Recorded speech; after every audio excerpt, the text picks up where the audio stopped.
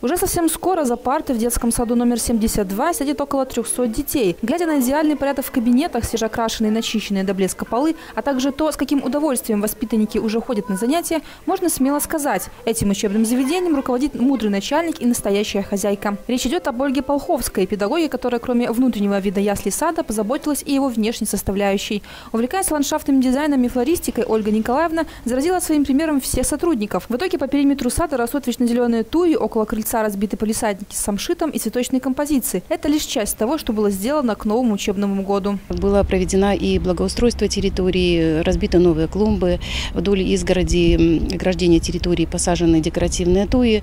И сейчас, смотря на наше учреждение, радуется глаз не только краскам, но и еще и безопасности. Средняя школа номер 24 заведение рассчитано почти на тысячу учеников. Казалось бы, от такого количества детей страдает качество ремонта. Полы в кабинетах, спортзале, зона общепита и инвентарь в кабинетах. Все это во многих учебных заведениях очень быстро теряет свой первоначальный вид, невзирая на ежегодный косметический ремонт. Однако эта школа исключение из правил. Главное – подходить к делу с умом, поддерживать и следить за состоянием учебных классов каждый день, уверен директор заведения Виталий Щерба. Следуя этому принципу, руководство школы позволяет себе делать не только косметический ремонт, но и более глобальную реставрацию. Капитальный ремонт вы видели, это входная группа, это крыльцо школы, которое, которое было сделано силами Э, наших и педагогов, и наших, нашего тех, тех персонала, э, которые работают в нашем учреждении.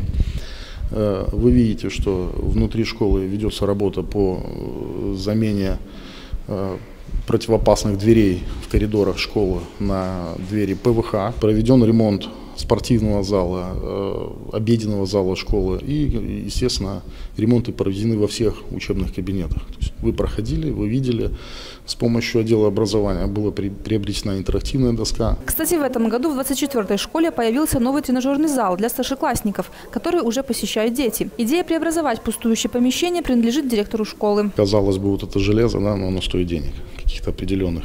Что-то мы нашли у наших коллег в других школах.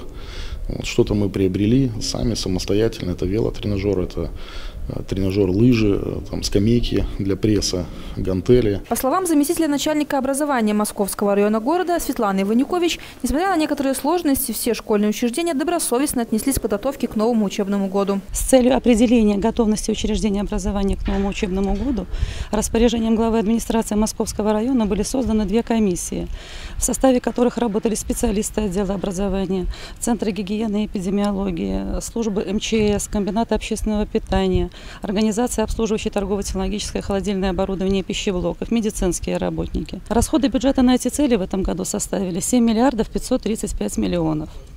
Вместе с тем коллективы учреждения образования привлекли вне бюджетных ассигнований в размере 4 миллиарда 619 миллионов. 1 сентября в Московском районе города за парты сядет 1003 тысячи учащихся и воспитанников, в том числе 3 тысячи первоклассников. В целом все учреждения образования района максимально эффективно задействовали ресурсы, выделенные на преобразование и реконструкцию своих объектов. Поэтому родители могут быть уверены, все условия для благотворной учебы детей уже созданы.